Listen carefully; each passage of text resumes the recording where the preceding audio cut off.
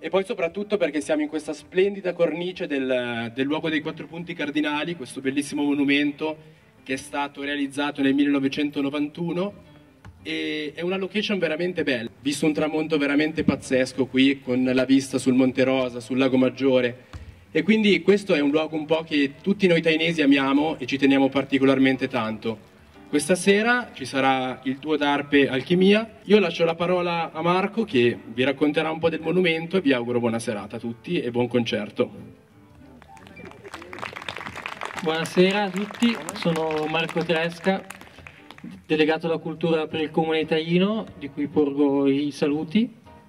È bello vedervi così numerosi in questa location, che è un po' il cuore di Taino. Come diceva Lorenzo, è stata realizzata una trentina d'anni fa e da allora ha sempre ospitato incontri culturali e siamo contenti anche quest'anno, nonostante le difficoltà del Covid,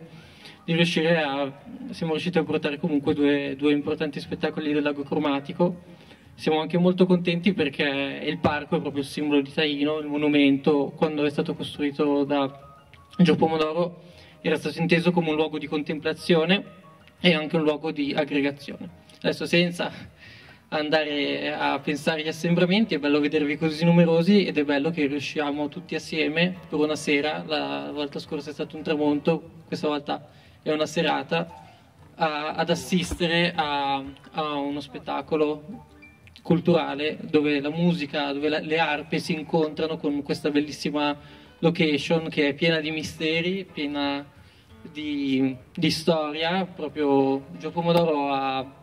ho voluto lasciare molti indizi, molti messaggi anche un po' ermetici su quello che è il monumento, a partire da quello che è l'ognomone per quanto riguarda il solstizio d'estate, perché è stato il, questo monumento è dedicato ai quattro punti cardinali, ma neanche tanti altri che poi possiamo approfondire magari in un'altra serata per lasciare spazio alla musica.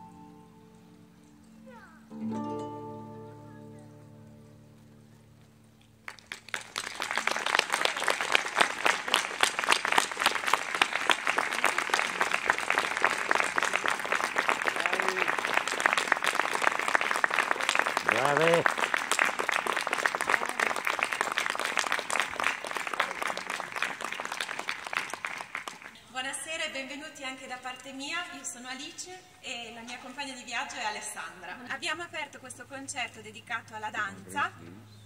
con eh, tre eh, danze appunto. Eh, la prima è una ballata, in realtà una ballata inglese, eh, molto famosa, si intitola Green Sleeves, diventata un po' famosa perché eh, si narra che il testo associato a questa melodia fosse stato scritto da Enrico VIII per la sua bella Anna Bolena, Green Sleeves, lunghe, un abito dalle lunghe maniche verdi che lui le aveva regalato.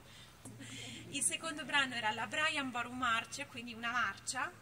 eh, una marcia della tradizione irlandese eh, dedicata al re Brian Boru, la cui arpa, perché si narra che fosse un re arpista, è il simbolo dell'Irlanda, è quella che viene conservata al Trinity College di Dublino e che è diventata anche il simbolo di tutta la nazione, tant'è che è anche sulla moneta irlandese, la potrete trovare su tanti euro e l'arpa la, raffigurata è proprio quella di Brian Boru. Abbiamo chiuso poi con un brano molto famoso perché ne fu fatta una versione non tanti anni fa da Simon e Garfunkel con il tradizionale Scarborough Fair.